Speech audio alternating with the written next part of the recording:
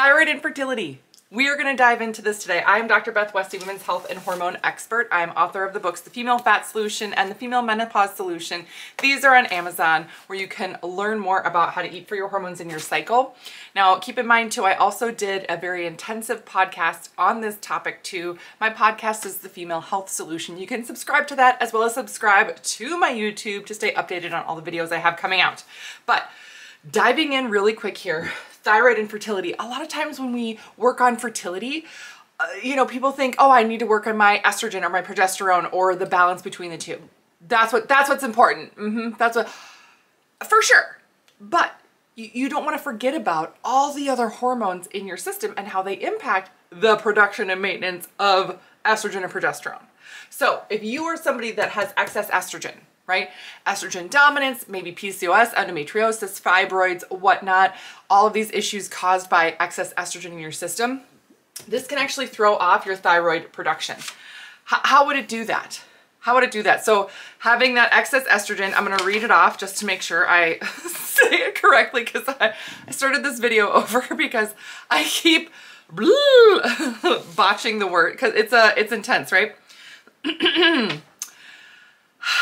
when estrogen levels are elevated, your thyroxine binding globulin is also um, elevated.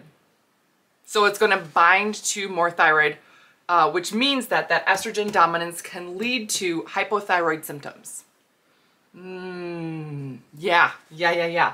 Um, it's, it's essential that we're measuring this as well as this if you are working on fertility. Now let's jump to progesterone. Now we know that your body needs to ovulate to produce progesterone. But there's actually a big connection between thyroid hormone and your progesterone. If your thyroid is not producing enough and activating, right? Your, your thyroid, which is located here at the base of your neck, produces that T4 and then it has to get converted to the active T3 in your system to really be utilized by your by your body. If your body doesn't get enough of that active thyroid, it, it's not going to ovulate regularly on time or anything. It's going to have a hard time ovulating regularly, which means you're going to have a hard time producing that progesterone. And that's one of the biggest things for fertility. So these go hand in hand and the poor progesterone, right? Excess estrogen can also impact that production of progesterone and maintenance and everything else. And then the excess estrogen also throws off the thyroid, which then can impact the ovulation, which impacts the progesterone. See how many things are kind of coming into play here related to that progesterone, you know, release of the, the ovulation, release of the egg, and then the elevation of progesterone. And this, I mean, it literally means progestation. So this is what's so important to get pregnant, stay pregnant. We want that progesterone to be as strong as possible. That means that estrogen needs to be kept in check and we are keeping really close tabs on all of your thyroid hormones. Now, we look at thyroid, we don't just look at TSH, we look at T3, T4, the antibodies, so we really need a full panel. Now this is something oftentimes you can order yourself. So I talk a lot about Dutch testing, right? I talk a lot about the Dutch test. Um, you can learn more about Dutch testing, you know, click the link below. If you have gotten a Dutch test, great.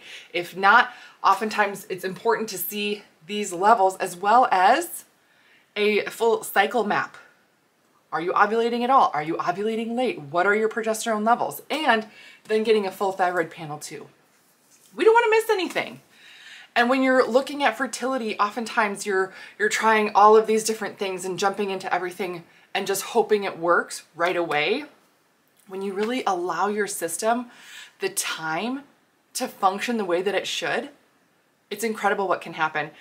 This is, this is actually really kind of fun timing. I talked to somebody about this today on the phone when I was um, having a conversation with her. I was having a, I was going over somebody's Dutch test, her first Dutch test that she's ever had. And we were talking about her health and her hormones.